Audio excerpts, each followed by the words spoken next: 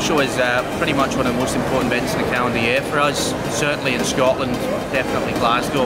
Uh, already stunning weather outside, thousands of people have come through the door and it's not even lunchtime on the first day yet. Mean, we've been coming to the Ideal Home Show on and off, having missed one or two for about 30, 33 years. It's, it's always been a good show for anyone looking at doing a home improvement project I was passionate about home design. Got obviously lots of product on display, kitchens, of kitchens, bedrooms, bathrooms, there's all kinds of ranges from that mid to lower end range where it's maybe a slab MFC door right up to solid wood doors with granite, high-end appliances, mid-end appliances. Everyone's an individual, everyone's kitchen is different, everyone looks for different things out of the kitchen.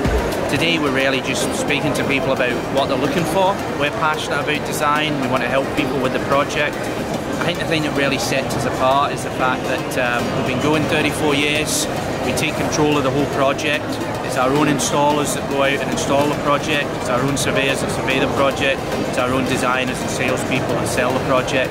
Right from start to finish, we take ownership of everything. The customer can contact us at any point with regards to a guarantee or any issues.